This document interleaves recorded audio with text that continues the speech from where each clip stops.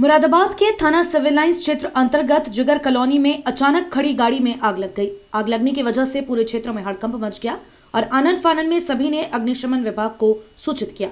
मौके पर पहुँची टीम ने गाड़ी में लगी आग को बुझाने का काम किया, मगर उससे पहले गाड़ी जलकर पूरी तरह राख हो चुकी थी।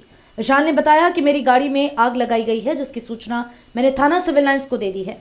ऐसा ज्ञात हुआ है कि गाड़ी में अज्ञात लोगों ने आग लगाने का काम किया है, जिसकी वजह से गाड़ी पूरी तरह जल चुकी है। इस पूरे मामले की जानकारी थाना सिविल लाइंस को दे दी गई है और इस पर जाँच कर कार्यवाही की मांग भी उठाई गई है। गाड़ी चलाता हूँ टैक्सी चलाता हूँ। अच्छा क्या घटना हुई वहाँ पर? सर ये गाड़ी सुबह से यहाँ रिपेयर हो रही थी साइड व्यू मैंने इसमें दरवाजे में पेंट कराया था।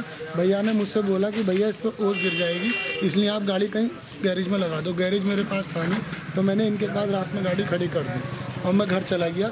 जब मैंने रात में आके देखा तो गाड़ी में आग लगी हुई थी और फायर ब्रिगेड बुझा के जा। दी बाद में मैंने सीसीटीवी निकलवाए तो सीसीटीवी की वीडियो में कोई व्यक्ति इसमें आग लगाकर जा रहा। है डीजल की गाड़ी है ये। मतलब आपका कहना ये है कि इसमें आग लगाई गई इसमें आग लगाई गई है इसका प्रूफ मेरे पास है वीडियो है मेरे पास। तो इसमें आप पुलिस कार्रवाई कर रहे हैं आप? पुलिस की कार्रवाई चल रही है मैंने मुकदमा दर्ज कर दिया है अभी मैं जाऊँगा और।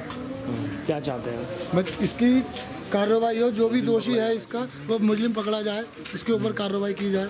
लगभग कितने का नुकसान है आपका साढ़े पाँच छः लाख का नुकसान है।